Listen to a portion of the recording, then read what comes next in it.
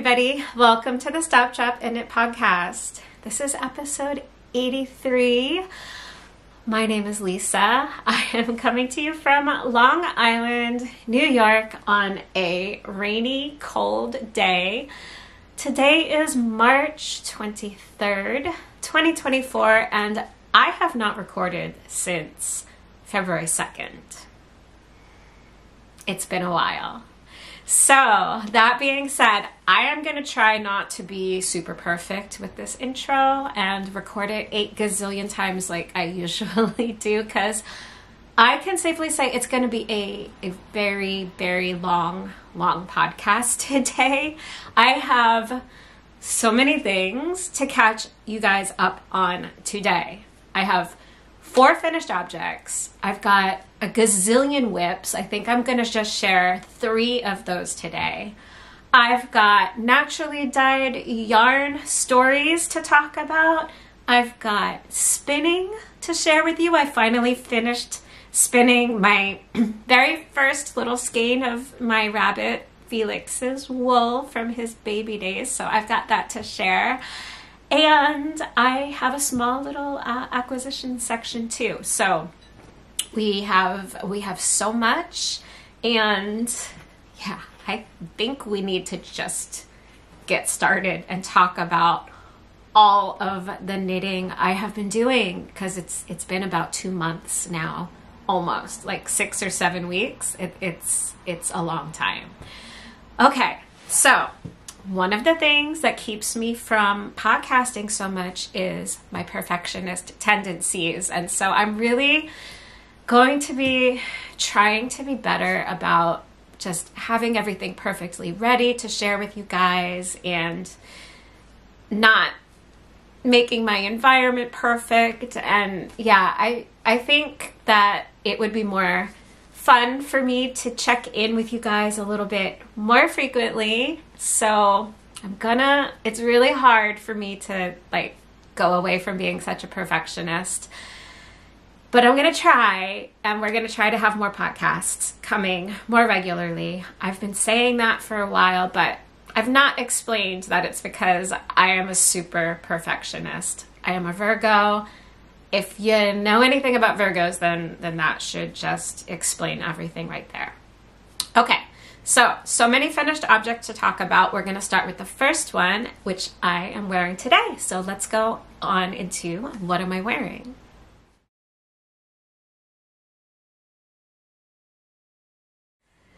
So today I am wearing finally my Hush sweater, which is a pattern by Tin Can Knits. This is a paid for pattern. I want to say it was about eight US dollars for the pattern. I started knitting this sweater last year. Uh, my notes said it start, started it in March 2023. And so this sweater I actually completed last month in February, but it's just been that long since I've podcast that I haven't shown you the finished the finished sweater yet. So, um, in all honesty, I have not blocked this, and I don't think I'm going to because the fit is perfect. I don't really think it needs a blocking. And because of the content of the yarn, the fiber in the yarn that I used, I think it might grow a bit. So I don't know. I just like it the way it is now. I'm not seeing a need to block this one. And so I'm just I'm not going to. I'm just I'm just going to wear it like I am right now and and enjoy it like this and then at a point when it needs to be washed, then, you know, I'll probably do a proper blocking. Um also, I, I'm just lazy and I've been really busy. So, blocking it just hasn't been at the top of my priority list. But this is me also letting things go from being the perfect ideal situation, having it blocked before I wear it and show you. So let's just get that out of the way. So this yarn that I used for the Hush sweater, it is deep, deep, deep stash from, I think, 2012 when I moved back to Long Island from my years in Florida. That was the year I moved back here. And so I'm pretty sure that this was a first year back on Long Island when I really started getting more into knitting again purchase. The yarn shop I got this from doesn't even exist anymore. And um, yeah, I just, I purchased this with, I think with the idea that I was going to make like a Christmas scarf or something for my mom. And then that never happened. Felix. Felix wants to get to Elmer. There's a barrier between them. It's not going to happen. They're not neutered. Yet, we're getting there. So, anyway, um, yeah, so it, this, you know, I bought this. I thought I was going to knit something for my mom with the yarn. I thought that she would really enjoy these colors. So the colorway, I wrote it down. Hang on is I have, you guys, I have four pages of notes today. That's how behind I am in podcasting. Um, all right, so the yarn is Cascade Eco Duo, and the colorway is number 1706, and the name of that is Koala. I don't have the label on me, but from what I can remember, it is a combination of merino wool undyed and alpaca undyed. Now Elmer's trying to get out to play with Felix. Yeah, Elmer, you were just out playing. You got to just settle down, bunny. I'm, I'm recording a podcast and I'm trying not to have it be perfect to save myself some editing. It's going to be long. Bunnies. okay. Um, where was I? Content of the yarn. I think it's 70% wool and 30% alpaca. And all of the wool and alpaca is undyed. I don't know which is which. No idea. But it's basically gray and, and brown. But the gray has like a bluish tint to it. I think, anyway. Like I see it next to the brown as being a little bit of like a baby blue. So I bought this thinking my mom would really like the yarn. And then, so I'm showing you the cables right now from the Hush sweater, which is what I'm wearing. Um, yeah, I was searching for a pattern. I was going through my stash. I'm like, gosh, I have a sweater quantity of this yarn. I think I had under a thousand yards, but close to a thousand, like maybe 975 total. Um, and so I just searched the yarn on Ravelry, and then I looked for projects. I looked start. I started looking for projects based on like what did other people knit from this yarn. And first, um, like most of the projects that I found initially were too dated for my taste because again i purchased this yarn in 2012 and that was 12 years ago because we are now in 2024 2023 when i started the sweater and was looking up patterns. So obviously styles change. Uh, there's lots of new patterns out. And it took me a while to find a pattern that suited my taste. And it ended up being somebody had knit with a different colorway of this same yarn, the Hush sweater by Tin Can Knits. And I really liked the design. It's one of their newer patterns, I think, from either maybe fall 2022. I would have to look that up, but it's definitely one of their more recent designs, like more recently designed than the Love Note sweater, which so many of us have knit, myself included. Um, and so I just thought, you know what? Let's just go for it. Let's let's knit this pattern and I really love it. I knit the yoke super quickly when I started in March. I kind of I kind of zipped through that and then, you know, because I didn't start it till March, I don't remember when in March. It could have been the end of March. The weather started warming up as we went into spring. I think I had finished the body and then I put it away when the weather warmed up because this is a pretty warm sweater with, you know, being alpaca and merino. And so I put it away and then I dug it out again uh, just at the start of this year. It was it was one of my unfinished projects, my lingering WIPs from 2023. And so it was on my list of WIPs to knock out before the weather warmed up too much. And so I finally did that. Last time I podcast, I had had one sleeve done, and now the whole sweater is complete. So, um, you know, I do not have any finished object pictures, but I'll just back up a little bit so you can see my waistband of my jeans hits me here. My natural waist is up here. Um, and so I made the body probably about 12 inches or so. I don't remember because that was last year. Um, but yeah, um, I just, I did the fitted sleeves. So the pattern gives you a lot of options. So this is a great sweater also if you are a fairly new knitter and want to venture into doing some simple cables.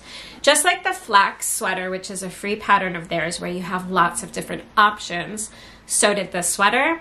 They gave you an option on the neckline and an option on whether you wanted to do sleeve shaping, which I elected to do, or to just do straight sleeves without any decreases.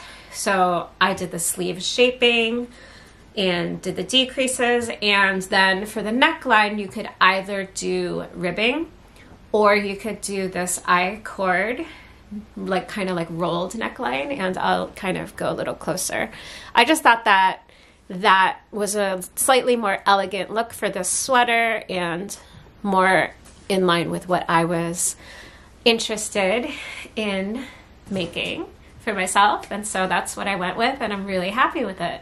So that's what I'm wearing today the Hush sweater by Tin Can Knits. And that is officially my first object from February.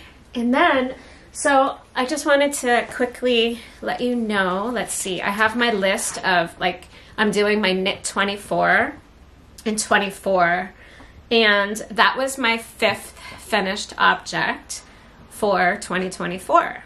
So I have eight total, so we'll get through the rest of those now as we go forward into the finished objects section of this podcast.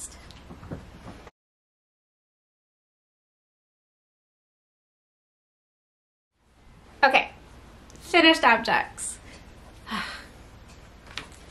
okay, so my second finished object is kind of a fun one. It was a super quick knit.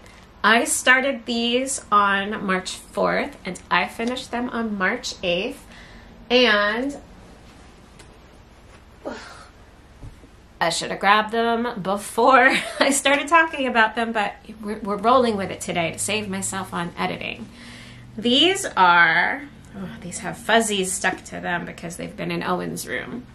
These were something I made for Owen, and I knit him a pair of lobster claw mitts. And this is a pattern, it's called Lobster Claw Mitts, and it's by Morehouse Designs. So I knit these, I'm gonna be doing this now as I talk. I knit these for Owen for his Sebastian costume. So he was Sebastian in his community theater production of The Little Mermaid Junior. And they weren't they didn't really have much of a costume for him. So, you know, we just dressed him in red and I just said, you know, he needs some mittens at least because of the claws. And so I searched for some mitten patterns. I was really just going to knit him like the what is it called? Like the very simple mitts or you know whatever those mitts are that uh, also by Tin Can Knits that are free that I've knit for him every single time. Don't remember the exact name, but I was just gonna do those. But then I found the lobster claw mitts, and I just thought, well, that would be really fun. I've got to stop doing this, you guys. Okay, so um, so this was a really quick knit. I knit these with stash yarn also that I had. I had one skein of Susan B. Anderson's. She's Barrett Wilco. I, I can't stop doing this. This is gonna get obnoxious. I just can't stop. Um, this was her home worsted weight yarn, and the color is poppy. And I had this left over from her mother hen pattern. When I knit the the hen of hers, I ended up ordering all the colors of the yarn individually because I really wanted to make the hen as a gift, but her hen kits were sold out. So I just purchased all the colors separately. This the great thing about her yarn is like you can always find a use for it. So I didn't need very much of the red for the hen pattern, so I had almost a full skein left over. And so yeah, so the fun thing about these mittens is the the construction was very unique, as you can probably imagine. So I um, the the pattern is written for actually kids size. So Owen has like maybe I have very small hands and Owen's hands are a little bit smaller than mine. So I had him try them on and what I ended up having to do was like the mitten was going to end around here for the cuff. So after it, th- these were like two separate triangles that you kind of put inside. It's hard to explain, but you kind of you knit two pretty similar length triangles, but then the way that you put them inside and then you join them together kind of in a three needle bind off like that is how you knit them, but without the bind off part. So you're just knitting both of them together in the next round. Um, and so then after I did that, I just continued for a couple of inches before moving on to the cuff until it was long enough for him. So these fit me. They fit him a little bit better than than they fit me because I have slightly bigger hands, but they were for him, not for me. So I didn't make them to fit me. Um, but yeah, I was able to try them on. Here I go again. I was able to try them on as I went and had a good idea of when they were going to fit him. And then just before I decided to bind off, I just made sure that stuck stuck it on his hand, make, made sure it was a really good length. This was just so fun to wear. I really need to stop. So anyway, this was a really quick, simple mitt. And this would work for lobsters, for crabs, you know, just just for fun, but what a great little addition for like if you're going to have somebody be dressing up as Sebastian or a lobster or something for Halloween, then I definitely recommend this pattern. It's easy if you wanted to modify it for adults, you just have to change the stitch count. I used the same exact stitch count for the large children's size but then just kept knitting length because the width was not a problem. I better take these off and let's move on to my next finished object because this is gonna get annoying if it's not already. Gotta put these away. Okay, so next up is, oh my gosh, I can't quite reach it. Here we go. I knit a hat, you guys. Another stash hat. I knit the Manhattan Hat Bulky. And this is a pattern by Tori Yu. I've been eyeing this pattern for a long time. And I was also just like wanting to knit a couple of quick projects for my Knit 24 and 24. So let's see, the lobster claw mitts were my sixth finished object of 2024, and this is number seven. And I love this hat so much. So I used stash yarn, and one of the reasons I think I might have showed this hat on the last podcast, but it wasn't very far along. I can't remember. But one of the reasons that I decided to use this yarn is that it was recommended in the pattern as one of the suggested yarns, and I knew I had just a single skein of what is it, the Brooklyn Tweed? Is that what it is? Yeah, Brooklyn Tweed Quarry, and the colorway is Citrine. And so I had purchased this in somebody's destash maybe five or six years ago. It's been a while, and I haven't known what to knit with it. And so, yeah, so oh my gosh, this it's so good. I love the decreases, the decreases at the top and the hat shaping. The um, the yarn has a lot of depth to it and it's it's just beautiful. I have like a, a fall jacket that is kind of in um, these colorways too, but oh my gosh. Let's see if I can get like my head a little bit lower. I really like this so much. This is officially my new favorite hat. I, I just really like it. So I knit, um, she's got a lot of different sizes. I knit the adult size small because I, I have a pretty small head and it's nice and snug. So I probably could have gotten away. Was it ex? Maybe it was adult extra small. I can't remember if it was adult small or extra small. It's the smallest adult size that I knit. So whatever that is. I probably could have gotten away with the next size up, but honestly like this feels perfect. It feels really really good. It doesn't feel like it's going to fall off, but it also doesn't feel too tight and like I just I really for the first time, like I like this amount of height in the hat and I just think it's just warm and it's ah uh, I I really like it so much. So I am really interested in making more of these hats. Plus, she also has other hat designs based on like what is it like the brownstone hat or something i don't know but she's got this same pattern available in many other weights of yarn so i'm really um, i'm really interested to find some other single skeins that i have and knit this up and just have more hats um, yeah, because I don't have a lot of accessories. I just don't knit a lot of accessories. I'm always going for sweaters and occasionally I'll knit a shawl and mostly I'll knit socks as my accessories, but I don't ever go to knit hats and mittens for myself. I'm always knitting those for like either my husband or my son, but never for me. So, yeah, I just I don't know, they're so quick and simple, and this is going to be really great. It's still cool enough out right now where I can wear this. We are, I said it's, what is it, March 23rd. So last week was, we kind of had our first like false spring, which is, you know, the season here. We get like fall, spring, and then winter comes back.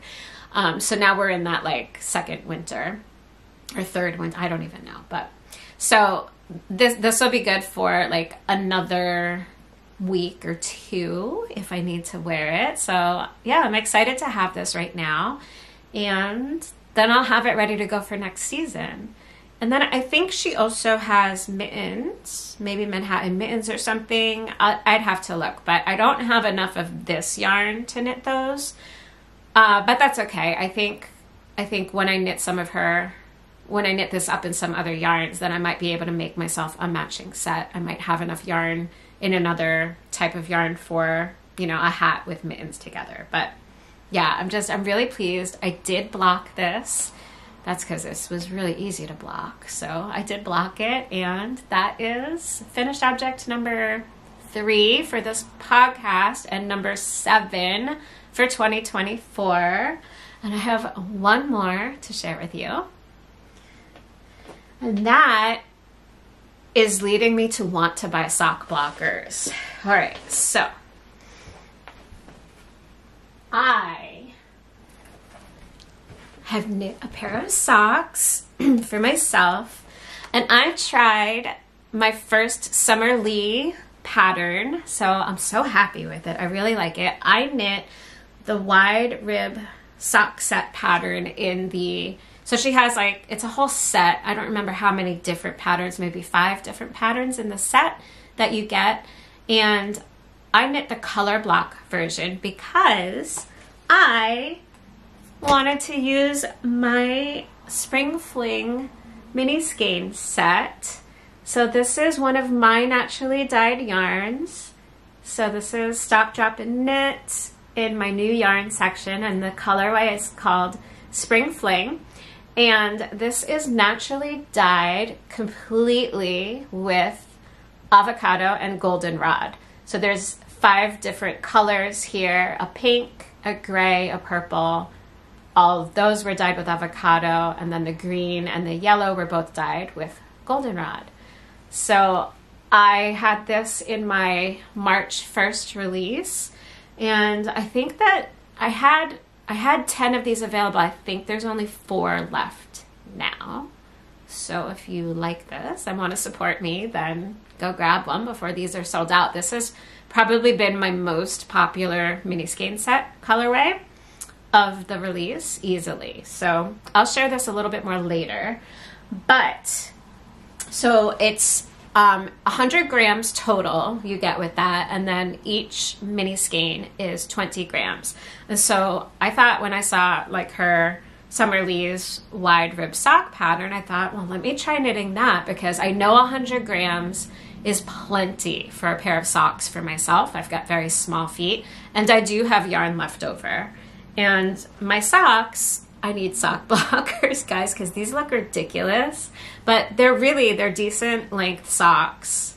Um, usually with 100 grams, I can get a pair of socks for both myself and Owen. Although now that his feet are just about as big as mine, I think that that might change. Like I might need to supplement with some other mini skeins or something if I wanted to squeeze out another pair. But yeah, so because these socks, I do not have sock blockers. And I was looking, I was trying to take pictures of these socks. I'll stick some pictures of what they look like on my feet so that you can properly see them. Socks are one of those things that are really difficult to show. And I mean, I've been podcasting for more than three years now. I've never felt like it was super necessary for me to have sock blockers. But now that I am trying to work up my own yarn into some samples and some actual items, I want to be able to photograph them nicely and to show them nicely on the podcast. And just like the way that this particular pattern is, the wide rib completely scrunches it all up and you just can't see anything.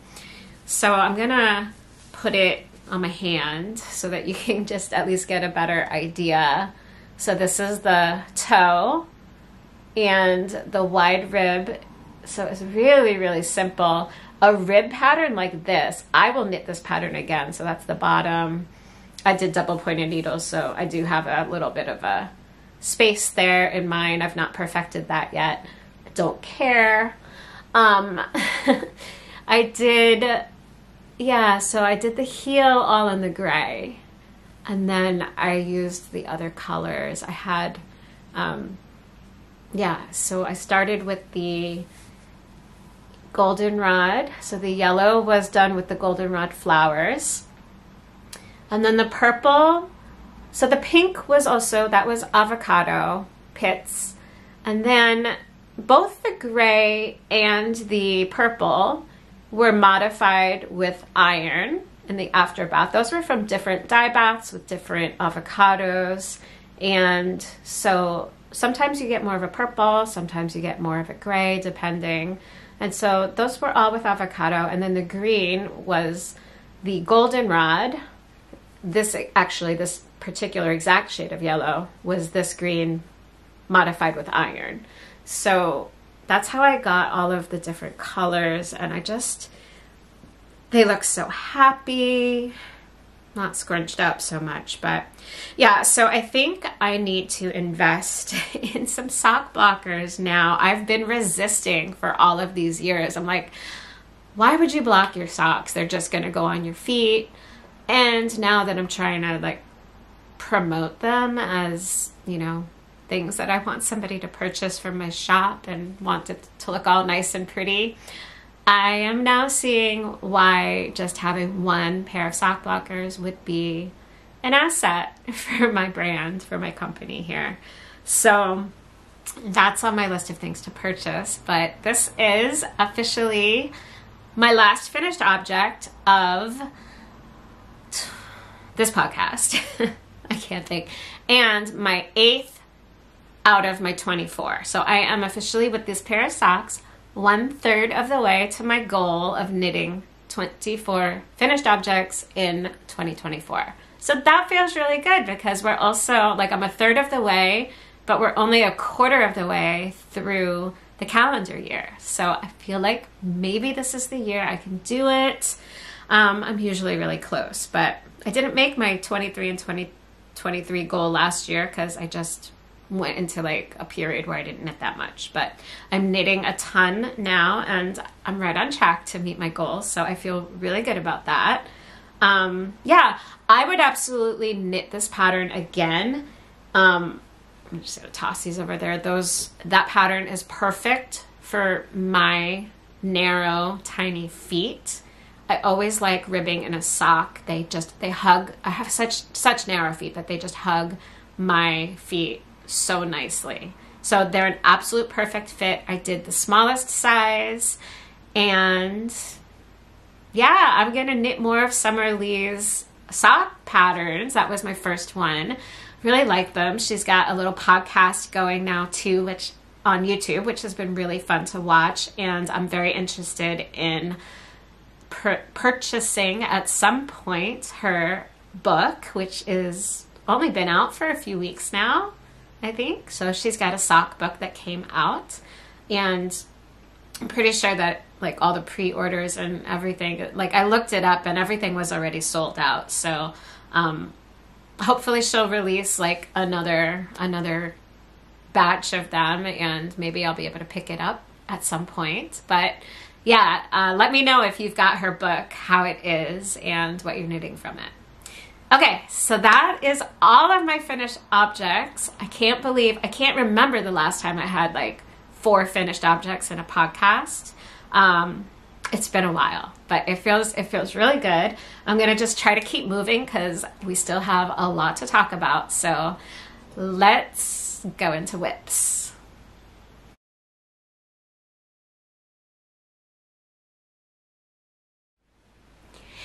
I have three WIPs to share with you guys today.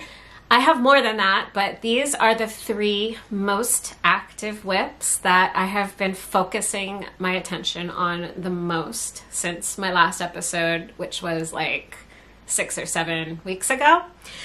I am so excited about this first one that I'm going to share with you. When I shared it last time, I had just only knit a swatch and decided on my color order. And now I have split for the sleeves and oh my gosh, I've separated the body and I have done the whole yoke and I can't wait to share this with you. You guys, this is the Stripes sweater by Andrea Mowry. I am knitting this in Stop, Drop, and Knit, my naturally dyed yarn. This is my sport base, which is 100% baby alpaca. I know about alpaca being really drapey and I just I just don't care.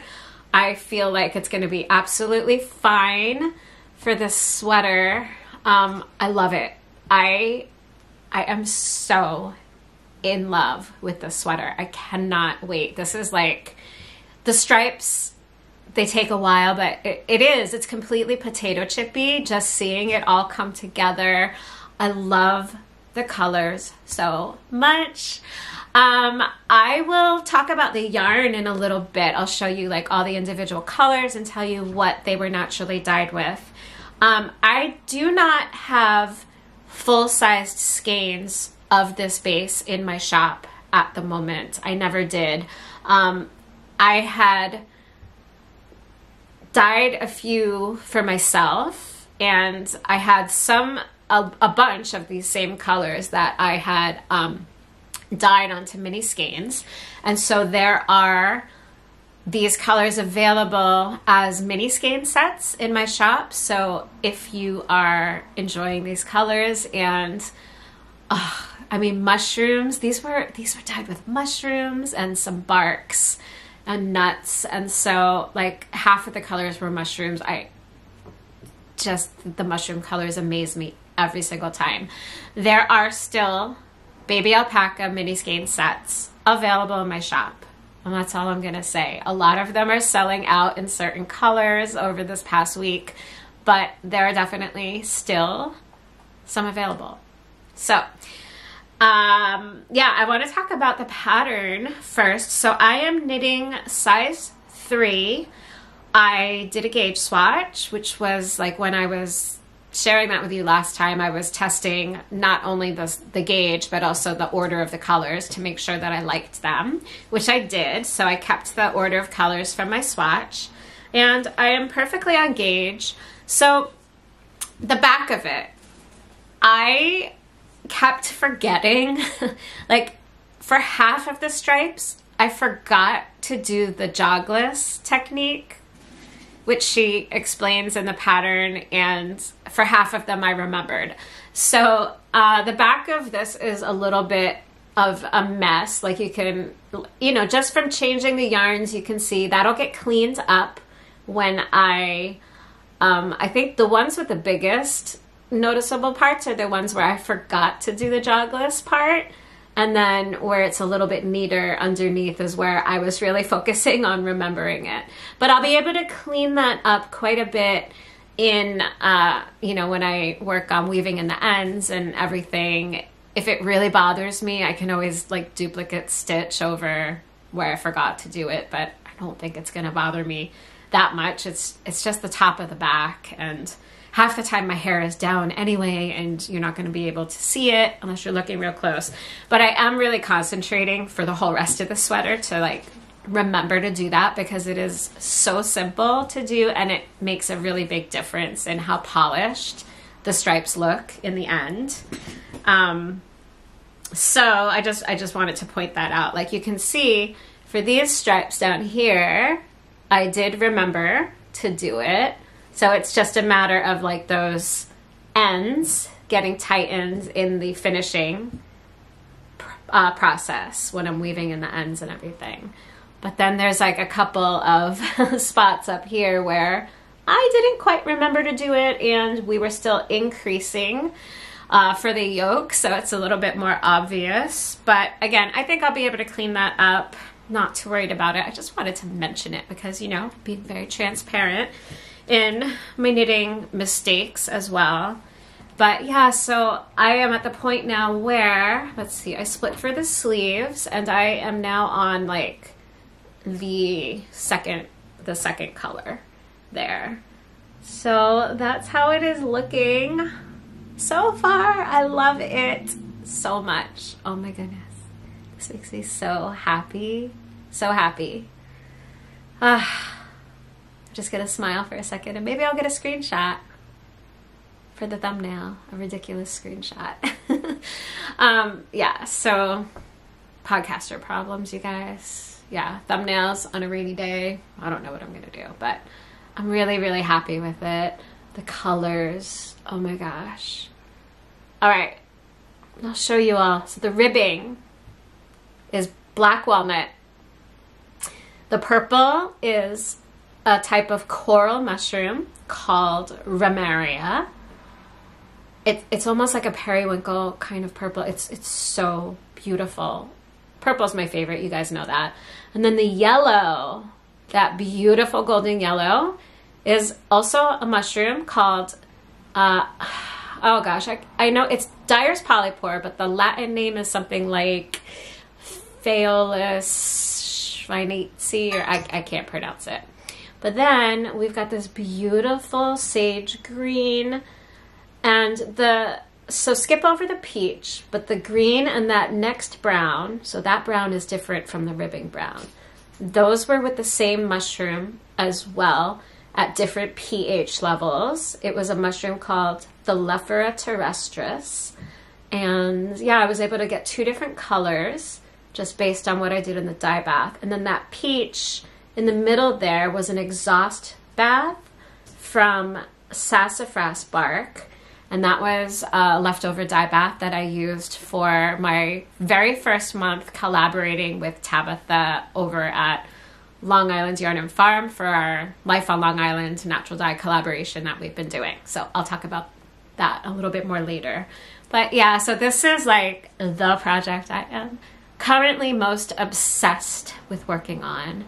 Um, I kind of want to plow through it a bit. I don't know.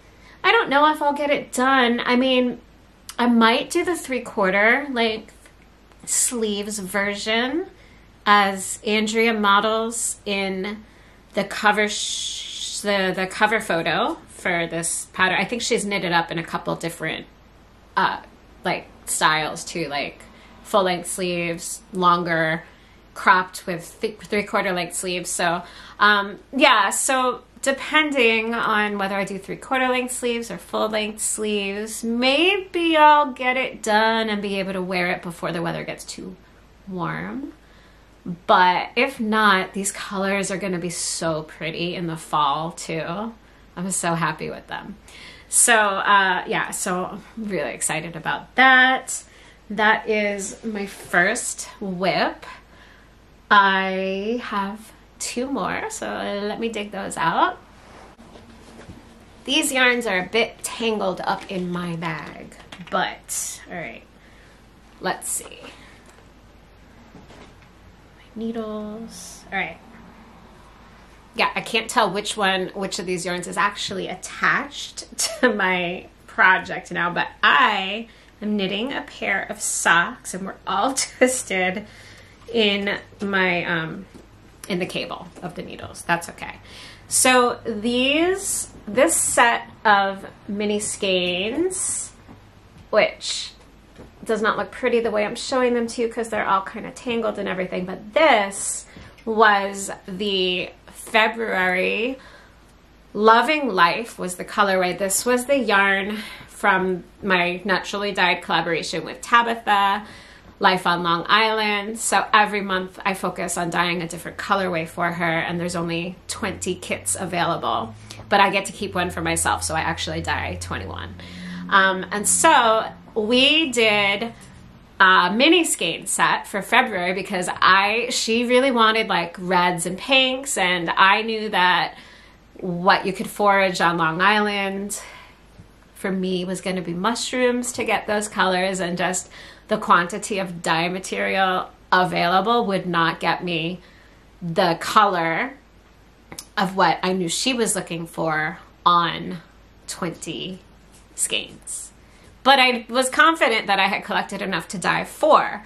So what I did was I, I used every single exhaust bath of those mushrooms. And so I have one rolling away from me on the floor. It wouldn't be the stop, drop, and Knit podcast without yarn falling and rolling away.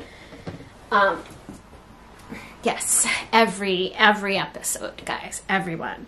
Uh, so the first dye bath, I got this beautiful saturated red, so beautiful, still pink.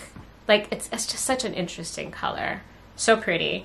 The second one, and they're dropping again. The second one, I got this nice deep salmon. And then the next one, we got a little bit more of like a carnation pink, just with exhaust baths from the same exact mushroom.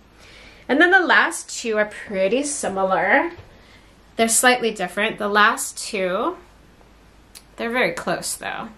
Um, I can't even tell which is which. You can see like the one has a slightly more orange tinge to it, and then this one has a slightly more uh, very pale pink tinge to it. So this was my gradient that I dyed for that collaboration with Cortinarius semi-sanguineus mushrooms. We're going to talk about mushrooms more later, but I am so excited because I decided to knit my first pair of colorwork socks and this is a it's a long project right now. I I've only worked on it a few nights, but they've been spaced out with like several weeks in between my my actively working on them. But this is what I've been knitting with them. And oh my goodness, you guys. I am in love so again, this was a set that I did for February, so we were in Valentine's Day mode. So I chose a pattern with heart motifs in it. And I am it's got a afterthought heel. So I am working on the foot right now. I am hoping that these are gonna fit. I got a little bit too tight right around um, where is it? Actually, I can't even feel it now, but like right before here, I, I could tell my tension tightened up just a little bit, but I'm hoping that when I put the heel in, that won't matter and that I can get this on my leg. So it's been so much work. It would be so sad if it didn't fit. Um, it fits, like the part that I can get on my foot fits really, really well. There's, there's quite a bit of, there's quite a bit of stretch to it. And I just think it's, it's so pretty. I, I just, every time I die with the mushrooms, I am just absolutely, absolutely amazed at just how gorgeous colors I get. So, yeah, so I'm about like halfway through the foot now.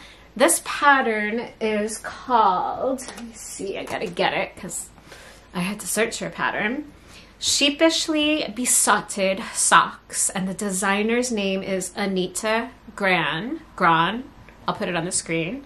I'll have all this stuff in my uh, description underneath the video for you guys to access at your leisure.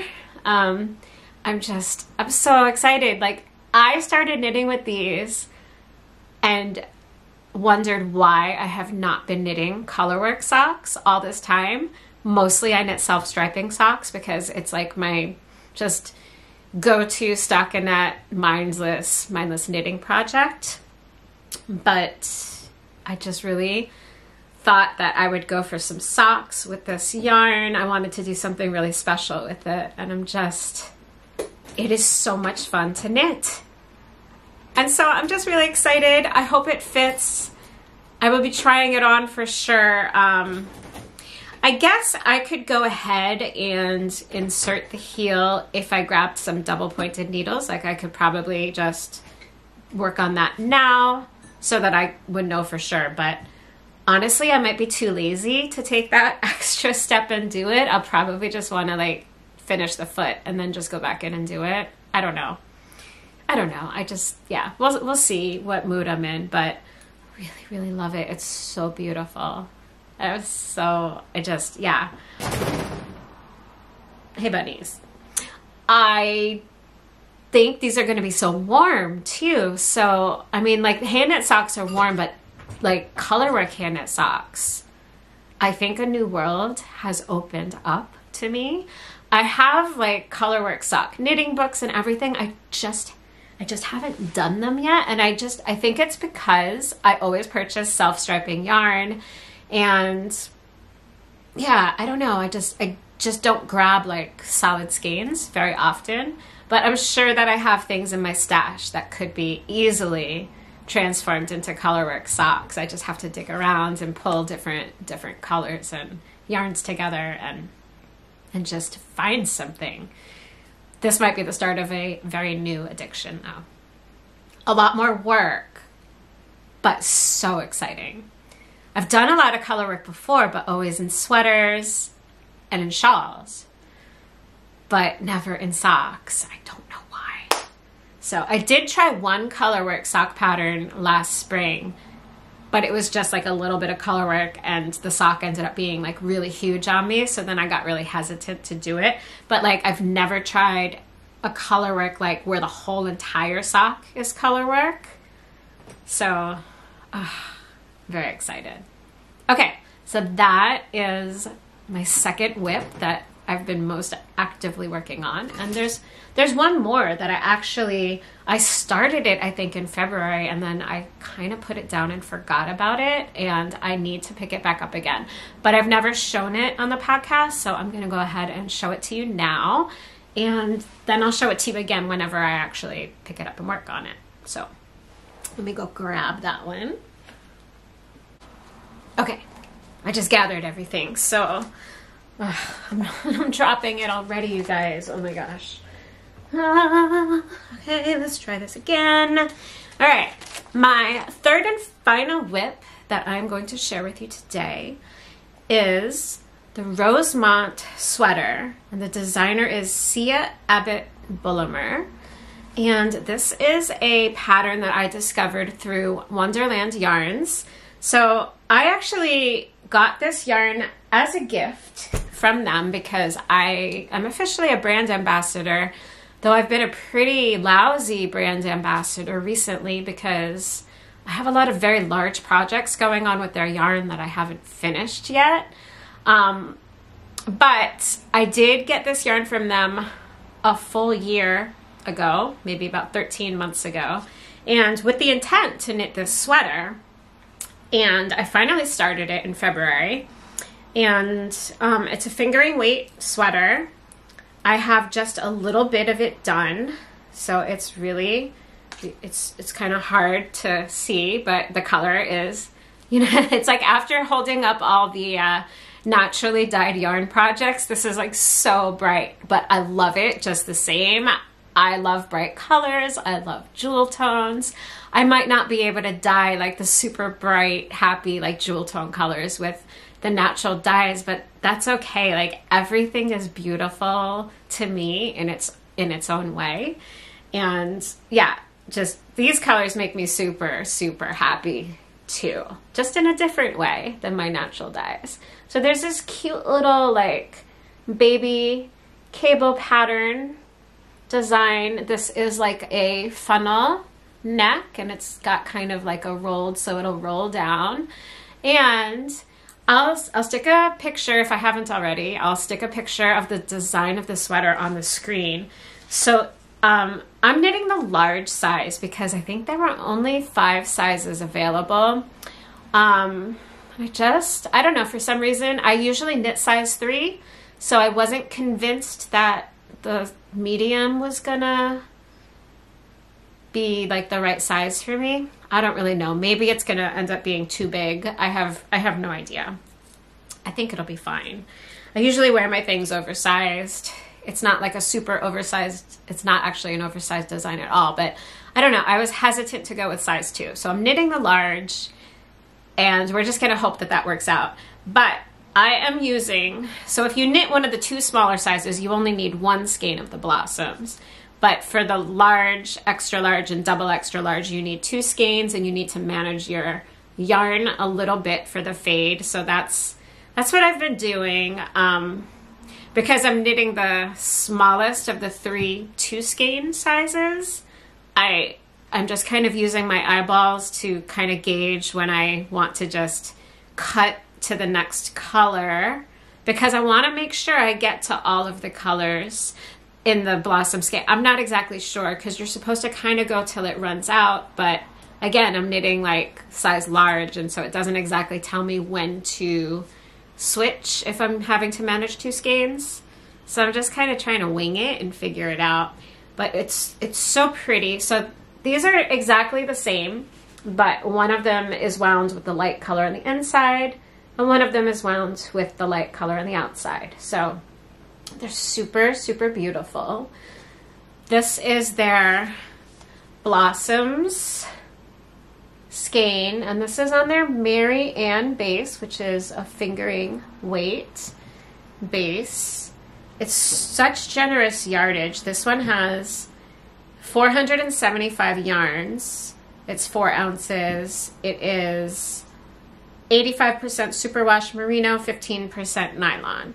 So I'm also planning, because I know I'm going to have extras, I'm going to knit myself like with the leftovers from this sweater a pair of socks to kind of go with it. And so I also have two skeins of what's kind of like the main color here. And this is really, really beautiful. This is also the Mary Ann base. So like these are gonna go together in the sweater. And um, this one is, what is the colorway of this one? is called Blueberry Tart, and this is color number 160. So did I say what the other one was? The Blossoms yarn, I don't think I said. It's called Bearded Iris, and it's color number 29. So yeah, so this is um, a sweater. I, I saw it, and I wanted to knit the sweater right away, but I had so many other things going on.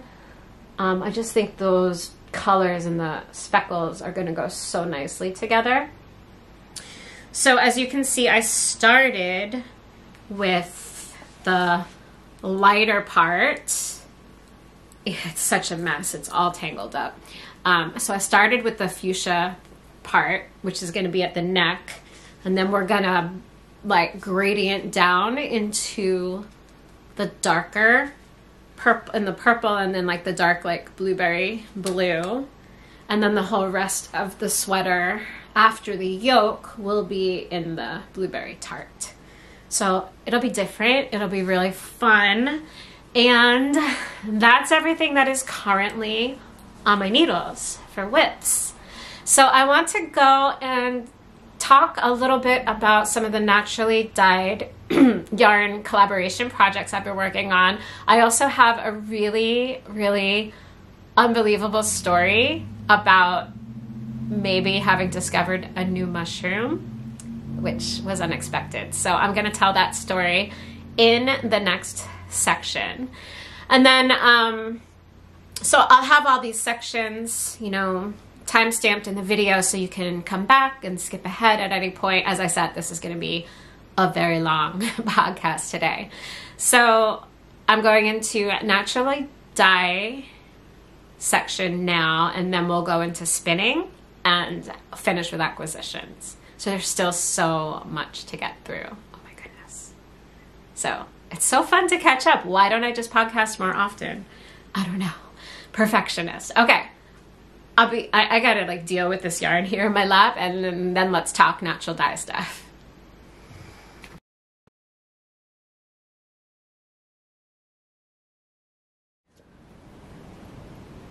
it just started absolutely downpouring outside. It's been like a really steady rain this whole time, but oh my gosh, like the sky has just opened up and yeah, it's like just sheets and sheets of pouring down water. So you might hear some noise. I don't know if it's going to be thunderstorming at all, but we're just going to keep recording because there's still so much to talk about. Okay, so I have mentioned now that I've been doing a natural dye collaboration between my shop. I'm naturally dyeing for Tabitha over at Long Island Yarn and Farm, and this is a year long collaboration that we started back in October, and we just have finished the first six months of it. So it's called Life on Long Island because everything that I dye is foraged on Long Island, and she supports other Long Island businesses by finding fun things to go into the kits with the yarn and all of that fun stuff. So I just wanted to show you the yarn that I dyed for the last month, which was March, well, this month, but it released just a week and a half ago. And I used acorns, and so we called this one Acorny Life. Get it? Acorns, acorny, haha. Um, and so this is on her bulky base, and I just thought it was, it came out so, so beautifully. So, yeah, I had foraged the acorns from lots of different places around Long Island over the course of the fall, I just took my time collecting them, building up a nice stock of nuts, which I squirreled away for this project. And I didn't have to use any kind of pre-mordant to get the color to set on the yarn because acorns have so many natural tannins in them. But what I did do was I dipped the yarn into an iron afterbath to darken the color considerably.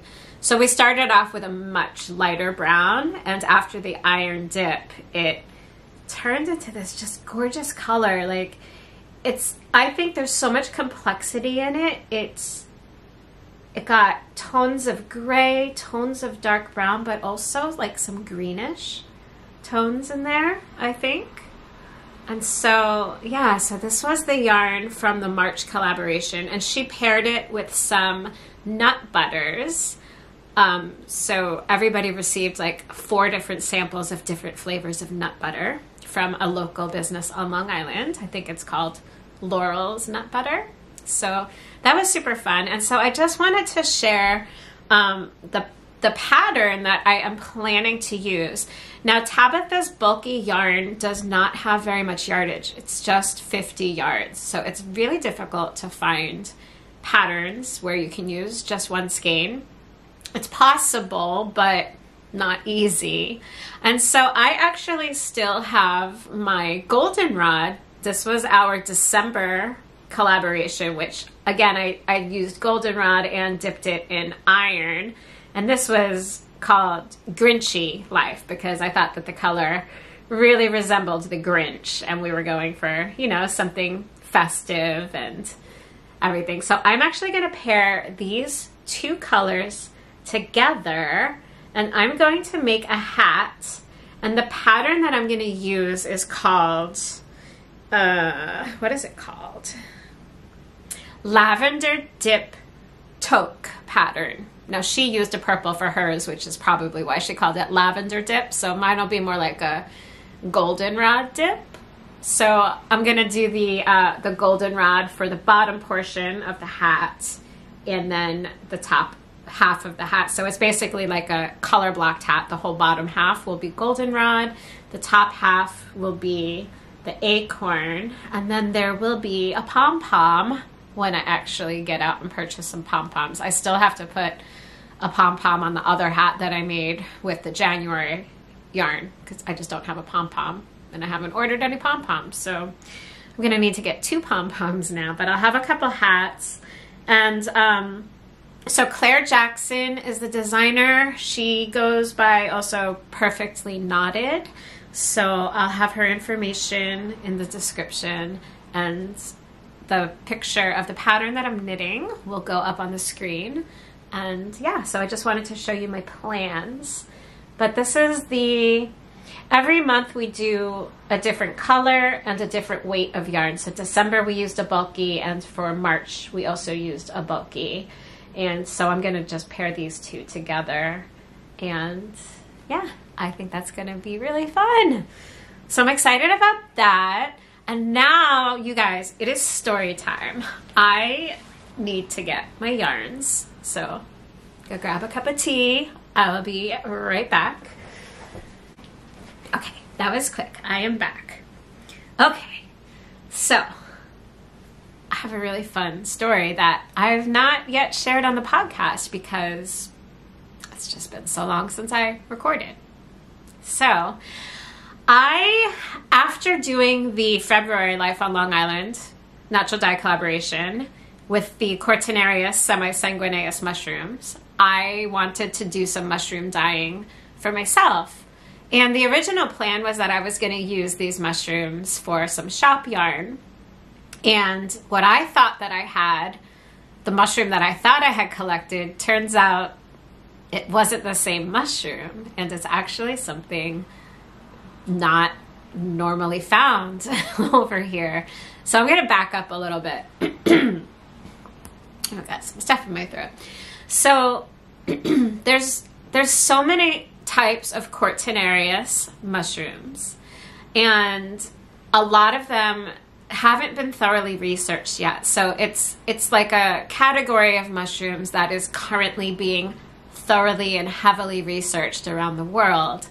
Um, North America is getting a little bit, we're a little bit behind from what I understand where Europe is in documenting various types of this mushroom.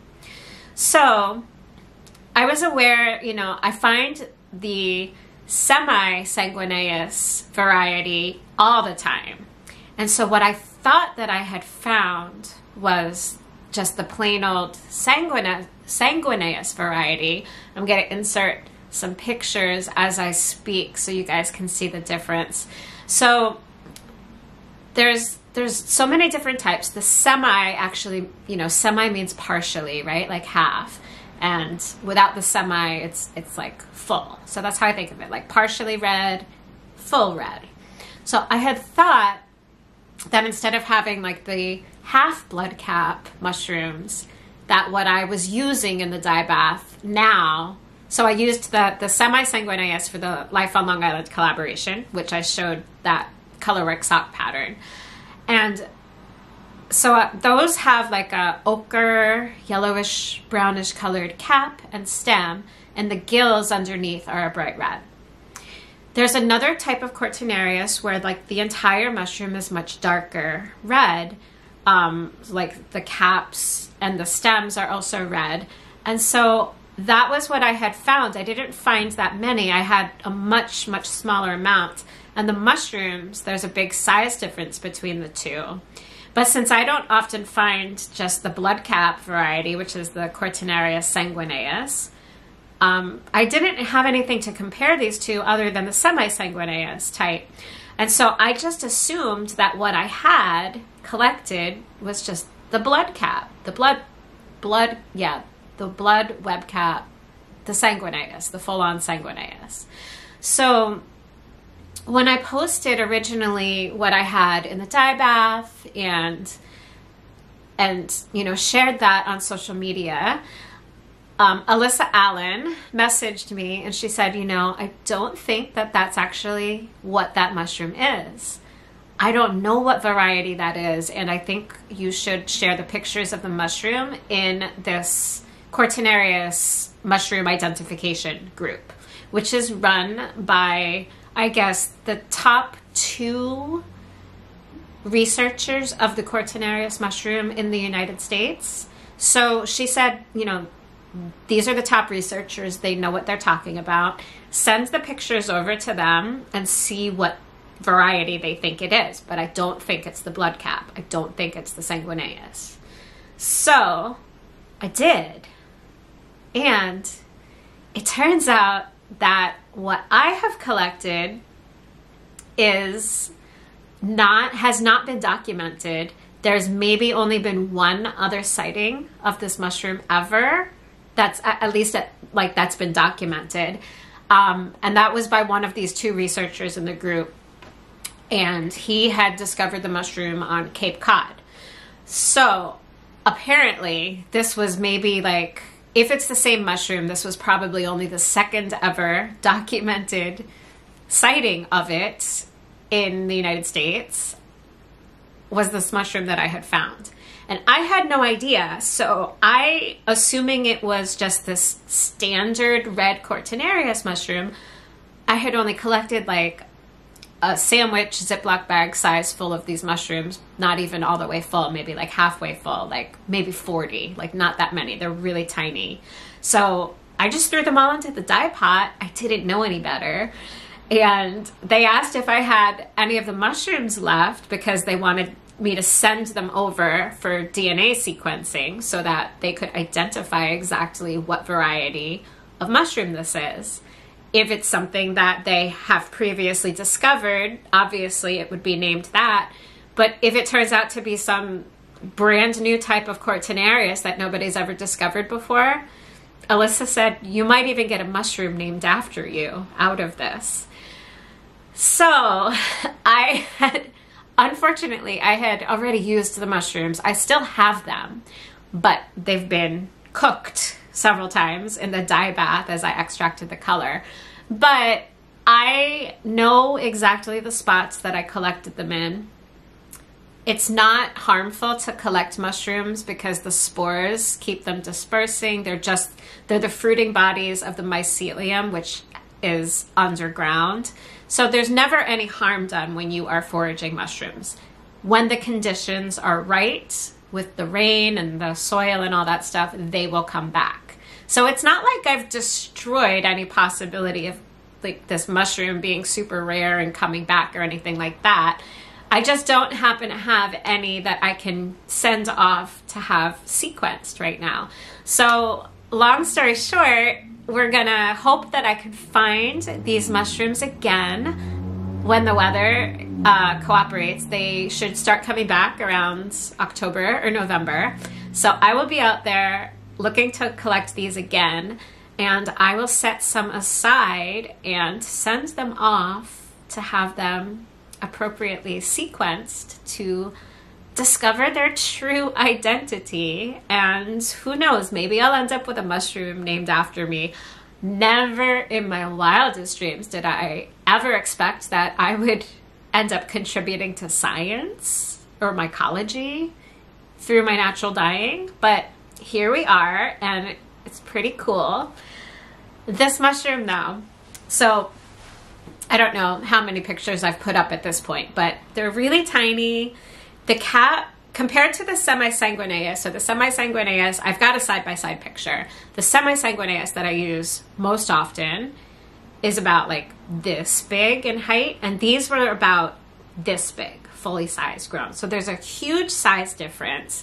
And again, the color of the cap and the stem are also quite different. The little ones that I used for this project of who knows what mushroom it is are much darker brown, even to red in certain lights. I'll show you the picture. I've got some great pictures with like full on sunlight on them, and you can just see how much red is in there. Oh, I should, I'm going to show you these, but then I should also grab the yarn that I showed you already with the sock yarn just so I can show you the comparison between the reds that I got. But these are the yarns. So I did the same thing. I did another gradient and these are the yarns that I dyed with who knows what mushroom, what kind of Cortinarius this is. You guys look at this blood red. It's like a brick red skein. Like, it's amazing. I will not be selling these yarns. Eventually, I'll probably use them in a project for myself. But, you know, these yarns are going to be for me. And they're very special. And hopefully I'll find them again and then maybe, you know, maybe I'll have another opportunity to dye with them and then can, you know, put some of the yarns from those in the shop in the future. But for right now, these are these are just like a, a personal special special project and will not be going in my shop. But look at the color. The saturation of this color, you guys. It's like a brick red. It is unbelievably saturated and gorgeous. And to think about how much color I was able to get out of such a small amount of mushrooms. I mean, this is 100 grams times five full skeins. So the second dye bath, the first exhaust bath, gave me this color. And, you know, from here on, the rest of this gets to look very similar to the other yarns that I showed you previously. This one's the third dye bath, so the second exhaust bath, and then the third exhaust bath. You know, so we're, we're looking pretty similar to the other yarns, but these are just so special. And then the final skein that I dyed um, was was this one here. So um, they're kind of squished together, but you can see those beautiful reds. And so just thinking that I might have discovered some mushroom unknowingly is pretty cool and completely unexpected. I just want to grab the um, the yarns again from the semi-sanguineus just so I can like show you the difference in the colors and how similar they are, but the difference in this first one.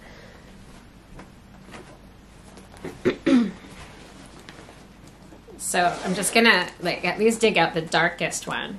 So the darkest one that I was able to get from the semi-sanguineus, and we're stuck again, was this. So look at look at the difference in the depth of color between the two varieties of Cortinarius. I thought that this was an impressive reddish pink to get, but this brick red is so good. And then, um, yeah, I'd say this is probably pretty similar now. Let me get the uh, the second one. So the first, uh, this was the the most salmon color of the other skeins. So there's still so much more depth of color here. But I think the rest of the gradient looks looks pretty similar so I won't I won't dig the rest out. They're they're all pretty much the same at that point. Um, but I'm just I'm just by these two especially, but especially the brick red, just blown away. So this is the same base uh, as my sweater. This is also 100% baby alpaca. This is a sport weight yarn that I dyed it on. And so the alpaca like just took these colors so beautifully. Just, this is so nice. I've never dyed a color this saturated with mushrooms before. It's just, I don't know, this is so stinking special. I'm just really excited about it. So that's my my mushroom story. There was one other thing. Oh yeah, I wanted to to share um, a little bit of a quick shop update with you guys. Um, I, I had a spring update in my shop on March 1st, and um, I still have some skeins available. So I've got three different mini skein sets. I had a uh, a worsted update as well, which I had called Zero Waste Worsted, which was using the remnants, all of the exhaust bath, getting all the color I could, and I used different uh, techniques techniques to get like a variegated effect on those yarns. I'm pretty sure that those are mostly sold out right now, so I'm not going to share those here. But I do have, let me grab them.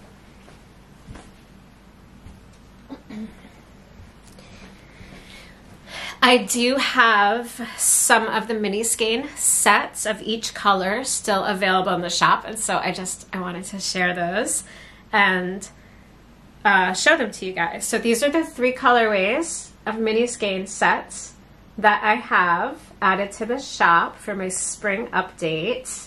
And this is on my sock base. So it's 80% extra fine merino and it's organic. And then it's 20% recycled nylon.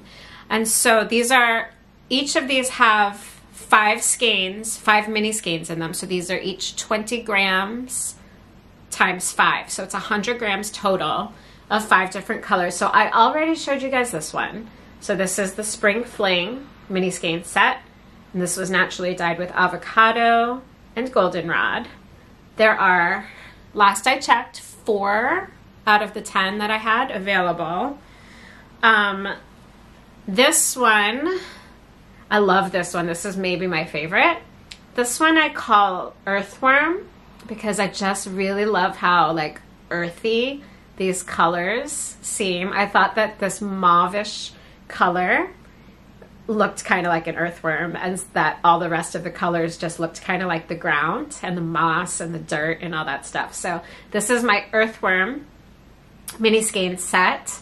And let's see, the brown and the gray were both dyed with black walnut, one of them with the iron after bath. The mauve was actually a combination. It was an avocado and black walnut combination. So it's a mix of avocado and black walnut. The whitish color, I think, was some kind of mushroom. And then the green was this bright green is beautiful. That's mulberry leaves. So super, super beautiful. I think this one's my favorite one. I think that there are three of this set still in the shop. And then I have this uh, yellow and gray mini set skein combination. This one I call Hatching Chicks.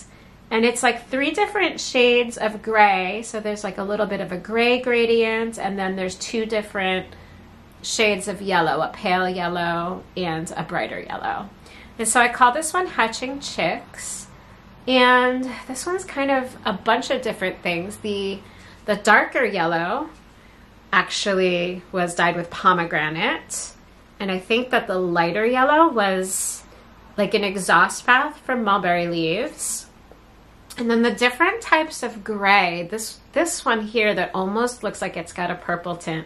This was actually um, a lichen dye bath that just the color never fully developed. So I just I used it and it's kind of like a silvery gray that sometimes has a little bit of a hint of purple if you look right.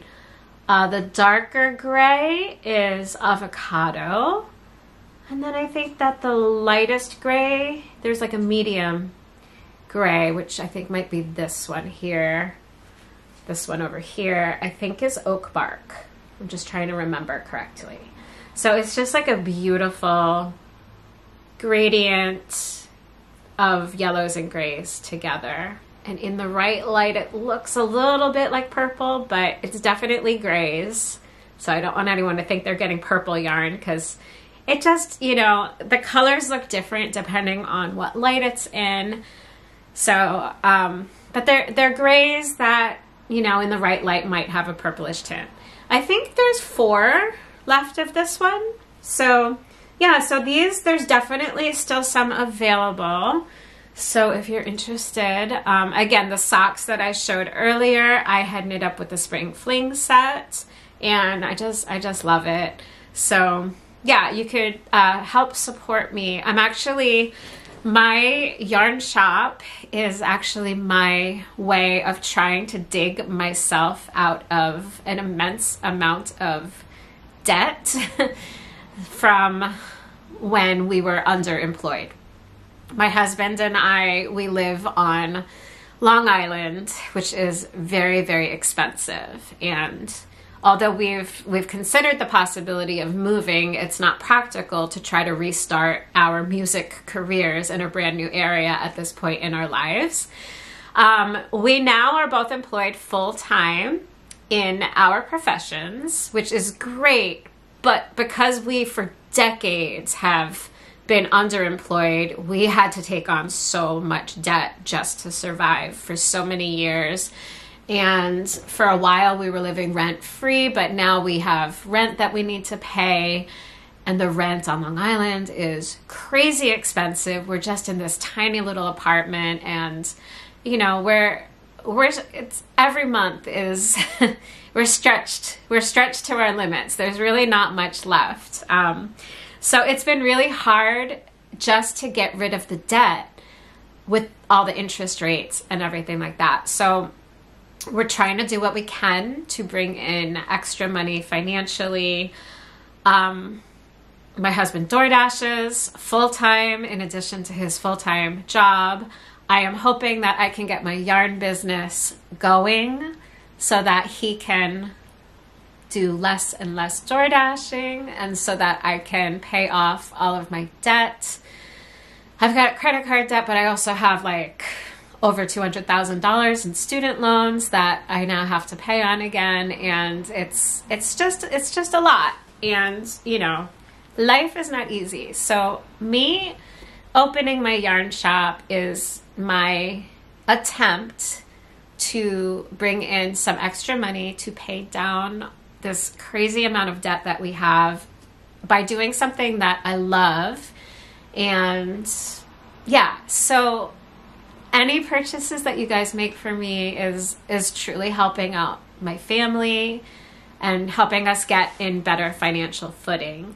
And yeah, it really does make a difference. And I just wanted to thank everybody who placed orders already and has been supporting my shop and has shared my shop and and all of that. So it it truly makes a difference. You are really helping my family and getting some beautiful naturally dyed yarn all at the same time, which hopefully you will love just as much as I do. So that's that's my story behind starting up the naturally dyed yarn business. I'm really just trying to find some ways to bring in some more money to get my family's financial situation on more solid ground. Eventually, once we pay the debt, hopefully we can start saving for a house, which seems like you know some far off dream that is never going to happen but i do think we could get there and i love what i do and just know that all of your purchases we are truly grateful for. We appreciate so much and they they really do make a huge difference to our situation. So that is all i have for natural dyeing today oh my gosh that was a lot I still have so much more to share with you though. I've got spinning. So let's go into spinning.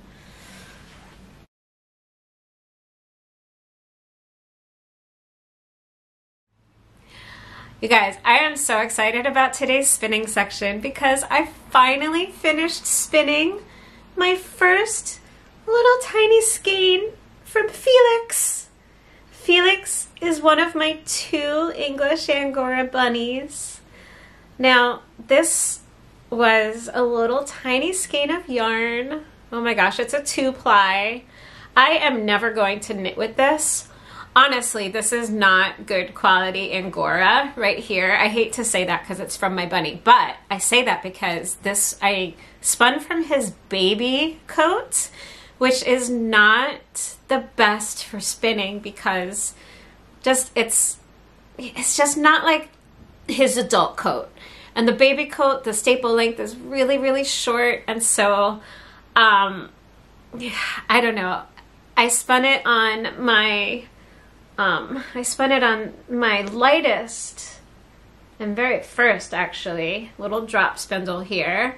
So I spun it, it needed like to be spun so tightly, like so, so fast and so tightly because the staple length was so short that like it, it's slippery and getting it to stay together. It was challenging but i also i mean not only i also just don't want to use this because it's just like a little a little memory skein for my bunny so i took a couple pictures of me showing felix what i did with his baby wool and honestly he didn't look nearly as impressed as as i am with it um but I finally like this this has been a long little project that just kept getting pushed aside and I finally just finished finished it and plied it last week and it's just so cute. Um let me uh let me undo it.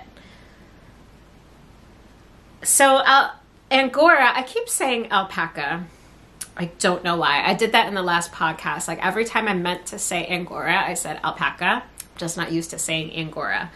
Angora has no memory to it. So this is just 100% Angora and I did not blend it with any wool. Typically, it's good to use wool, at least 50% wool with your Angora because wool has memory and alpaca will just alpaca. See, I did it again. Angora will just keep stretching out and losing its shape. And yeah, so like if you wanted to knit a hat or something out of 100% Angora, that hat's gonna lose its shape and you know, you're not, it's not gonna be like a forever item. Um, but if you mix the Angora with wool, you get like the soft qualities of the angora but the memory of the wool and so it's like the best of both worlds so i am planning in the future to do some um, you know some some that's not 100% angora. I can spin angora 100% still but then i would probably want to pair it with some other wool yarns when i actually go to knit with it. But this was just like my my first time spinning Felix's wool, and yeah, so this this was just purely like a little a little memory skein. I plan to spin just a similar little memory skein out of Elmer Fuzz's wool too. Um, yeah, but I haven't gotten to that yet. I've mostly been focused on Felix's right now. I've collected Elmer's, of course, but I haven't like sorted it or made it into spinnable Rolags yet.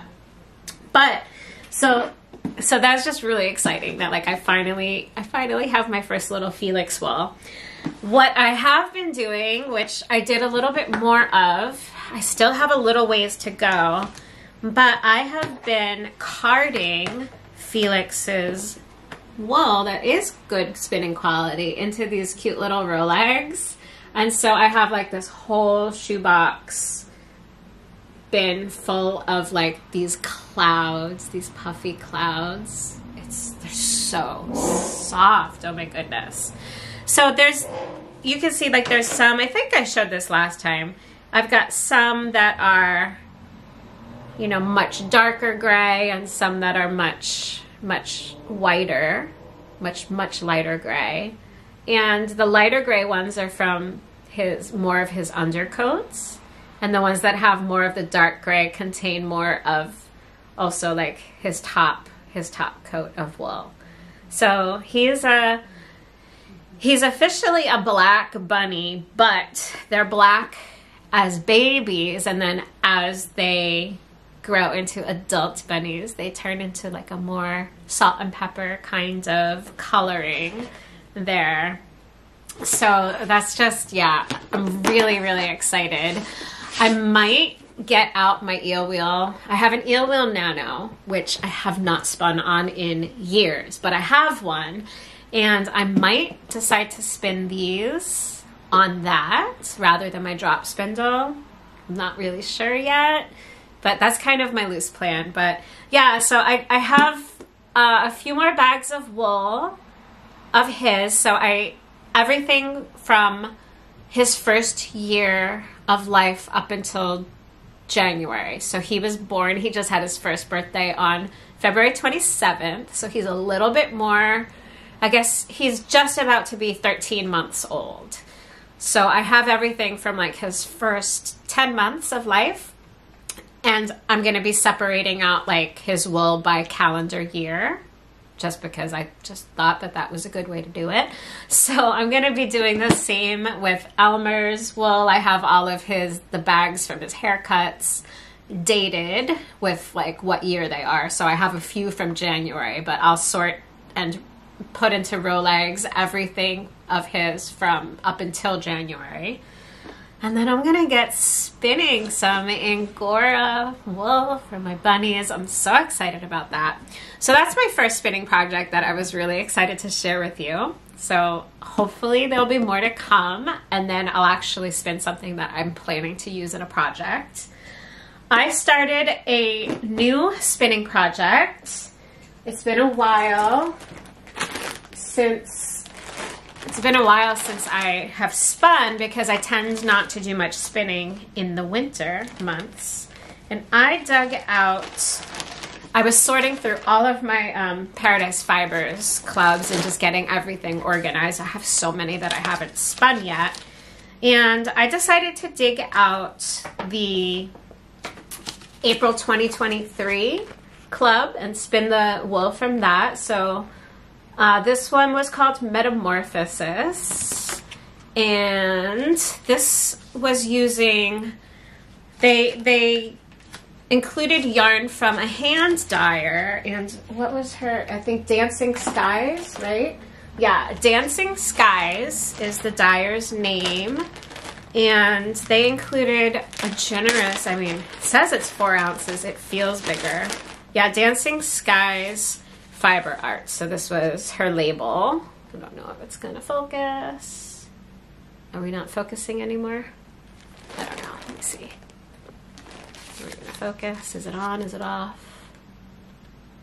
Um, there we go. Dancing Skies Fiber Arts.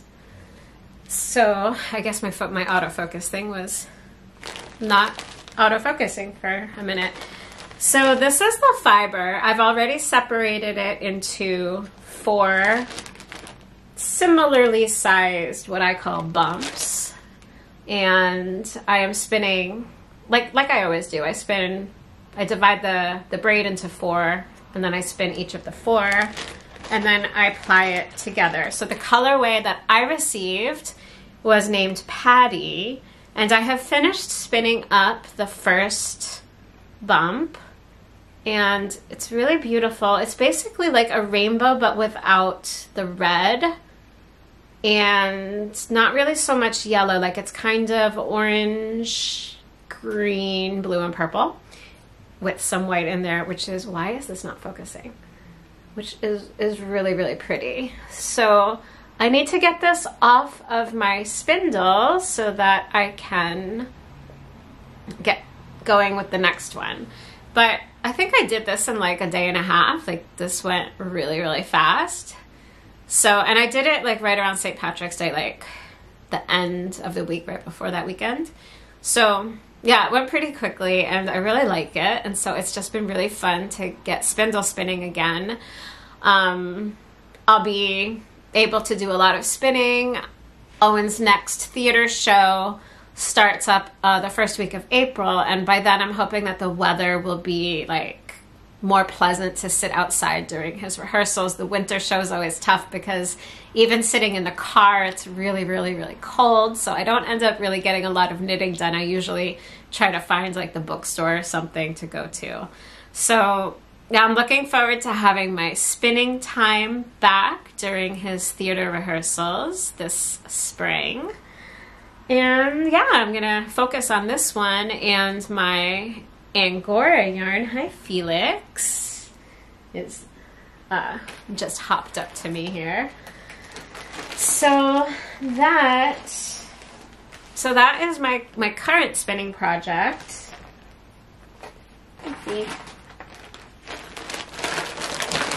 And then I thought I would share with you what I just received in the mail a couple days ago from Paradise Fibers.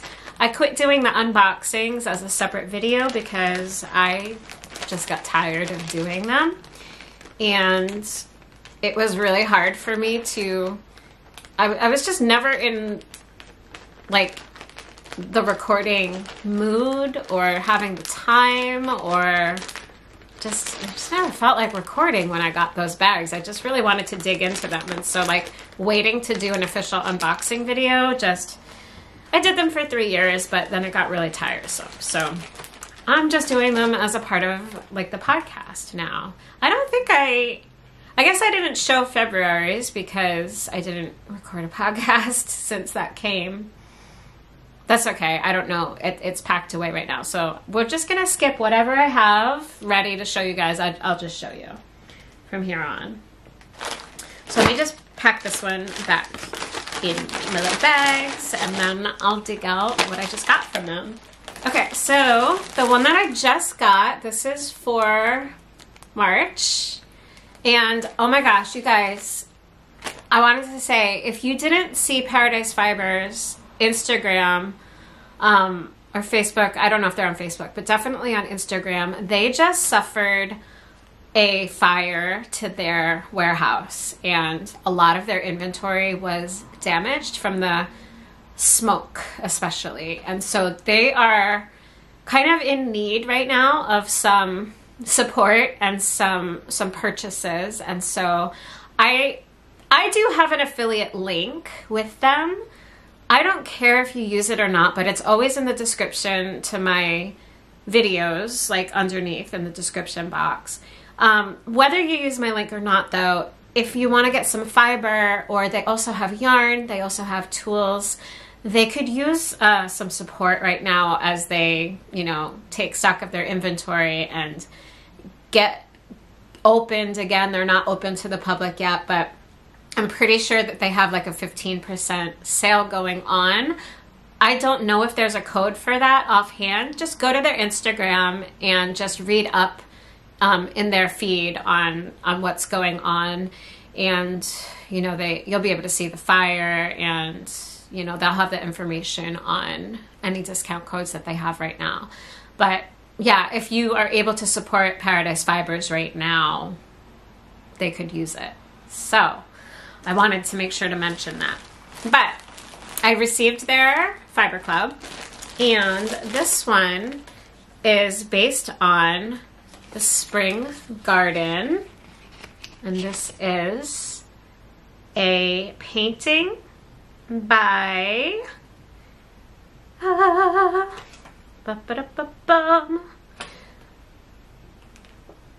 I'm just reading this.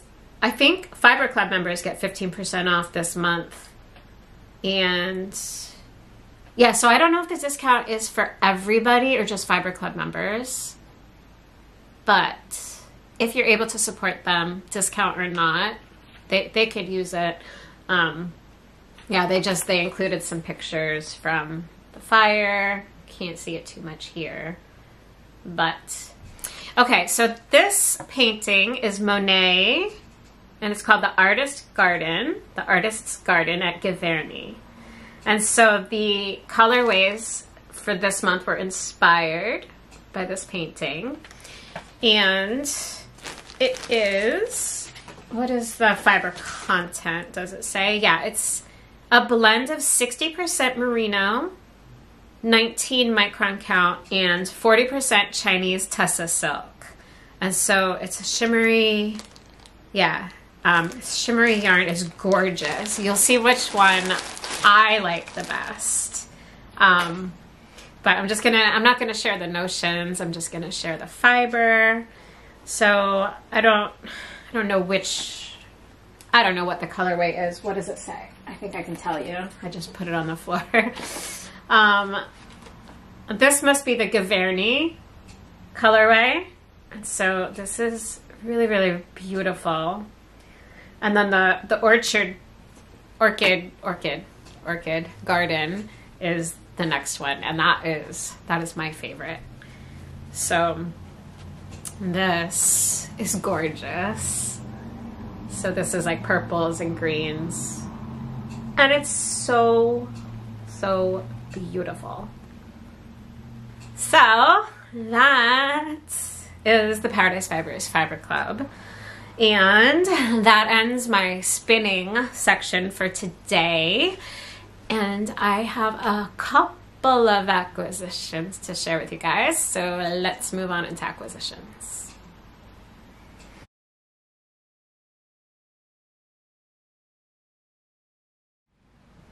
So I have a couple of acquisitions to share because it's just been almost two months since my last podcast. And so I've not acquired that much yarn, but I have a little bit to share.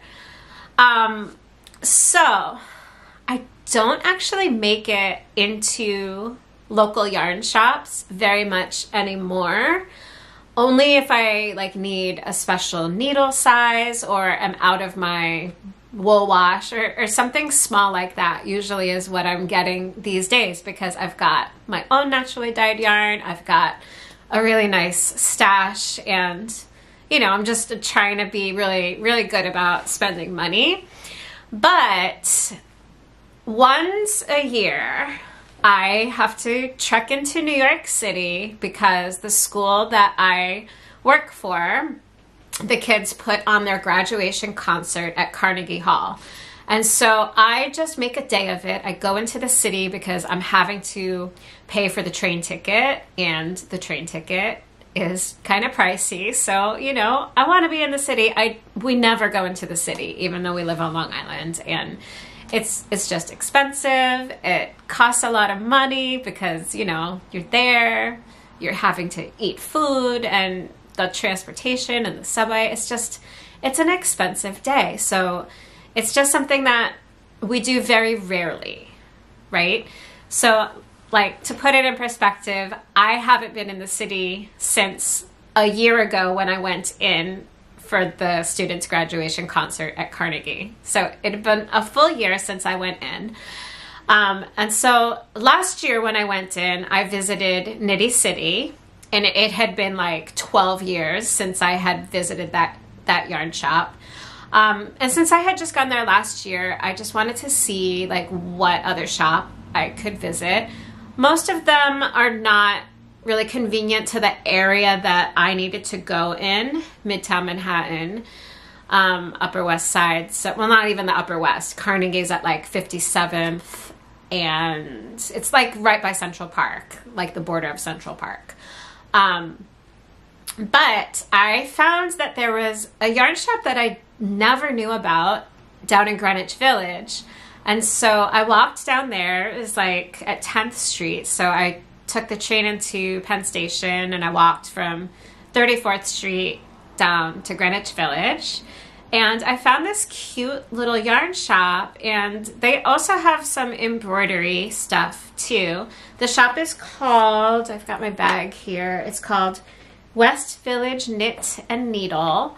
And I had just looked up online like what yarns they carry, and I really I decided to go there because they carry Life in the Long Grass and that is a yarn that I never see in any of the yarn shops. So I can't ever see it in person. And if I were to order it, I'd be ordering it, you know, from someplace online, not being able to see it. And so I said, okay, life in the long grass, let me go. I'll be able to pick out some colors in person and and that that'll be good because it's something that I just don't normally have access to. So that was the reason that I went there. And, you know, it had been a year since I had gone in the city. So, you know, I kind of planned to have a, a little bit of a budget for that trip every annually to go in. And so I got a few skeins of Life in the Long Grass. I got a combination of singles and their silk mohairs. And I got three different colors. So I got the Cool Dawn colorway. And so the um this one the singles is 100% superwash merino and it is 400 yards. And so Life in the Long Grass is from Ireland. And then this is a 50 gram, which is 420 meters. It doesn't say the yardage. Um, but this is their kid, what is it, kid silk? Yeah, it's haze lace. It's 70% kid mohair and 30% silk lace. And I just really wanted to get some mohairs because I do not have a stash of mohair. And there are so many projects that I'm interested in knitting that do call for mohair. And so that's mostly what I was interested in in picking up. Um, because whenever I want to knit something with mohair, I have to make a purchase because it's just something I don't have. And so I also got the same bases in this beautiful colorway called Rouge. Obviously, this is like my favorite color in the whole world. And then I picked up one more colorway, and this one is called Pink Haze. And it's like a beautiful, I, I see more of like a lavender icy kind of colorway. Honestly, this one reminds me of my lichen colorway yarn. So, yeah, so that's what I got. I don't exactly know what I'm going to knit with it yet, but I just thought that I'll probably try to use these colors together in a project, but I don't really know what. But I thought that they were just really beautiful. I love jewel tones and just the the paler shades especially mixed in made me think of spring colors and that's kind of what I was feeling on that like cold dreary winter day in New York. So that was like my my yearly New York City yarn purchase. Um, then back in January, think it was January, it was either like late January or early February, Susan B. Anderson put out a pre order for a box of bunnies, a mystery box of bunnies. And so I ordered this easily six to eight weeks ago. Um, actually, no, it was like, yeah, maybe six or seven weeks ago, like right around the time that I did my last podcast, I think. And ooh, me get the box. It is so cute.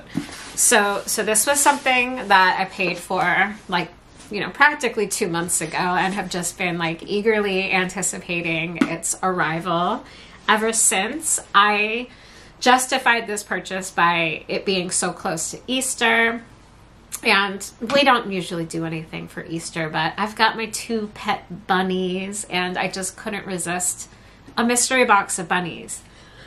and her patterns are always so delightful, and her yarn is gorgeous. So I received my box of bunnies. Oh my gosh. And I opened it last night, and it is adorable and amazing. So um, she designed, so this is like the little illustration shows you kind of like a little bit the bunnies that she designed.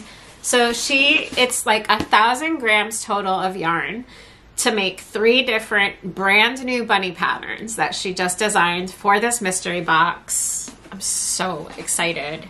So this was officially, it was my Easter gift from Felix and Elmer Fuzz. Really, just, yeah. But um, it's it's amazing. It just it came packaged all beautifully. So like it came it came packaged and like all wrapped up and it came with a, a letter. I'm not going to read it to you cuz honestly my battery just died and I had to go quick charge my battery for 10 minutes to finish recording the podcast.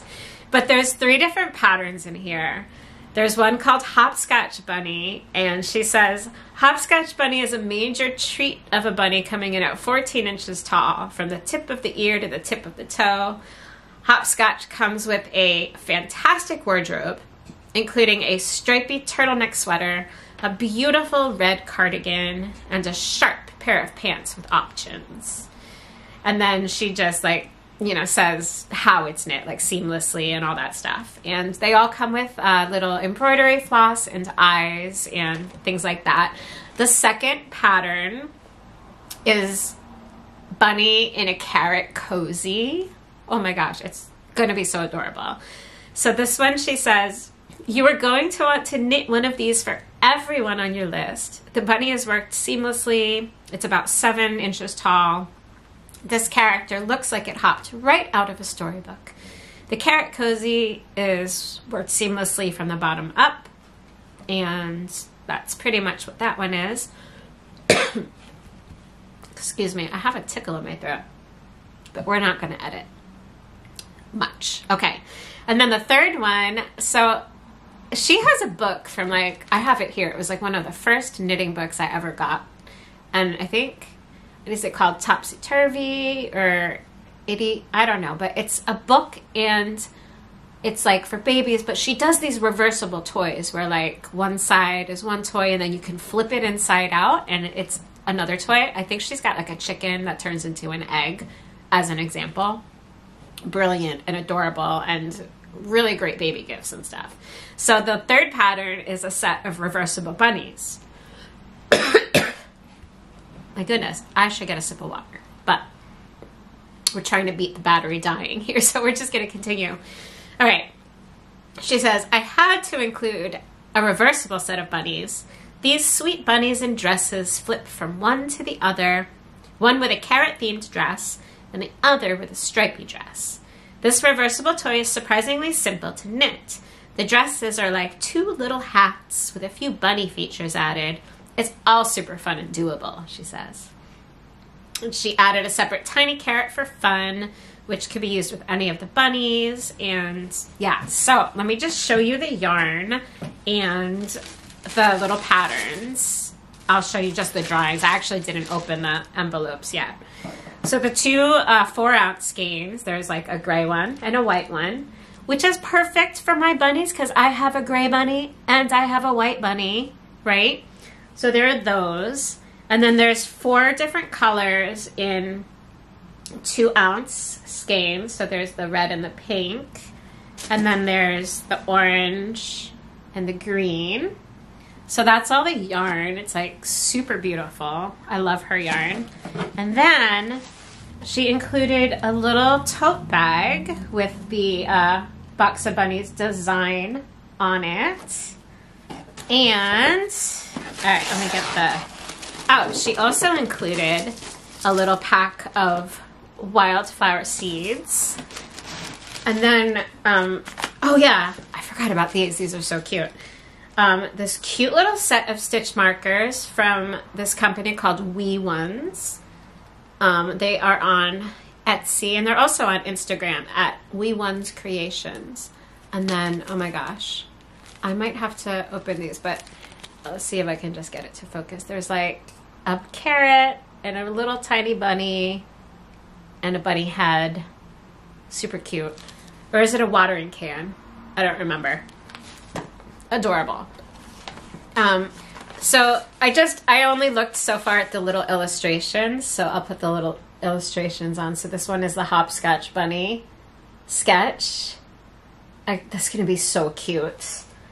And oh, and she included also she did some embroidery on her bag and then she turned it into a coaster design. So she did yeah, so that's like the little embroidery she did. So that's a fun a fun project as well.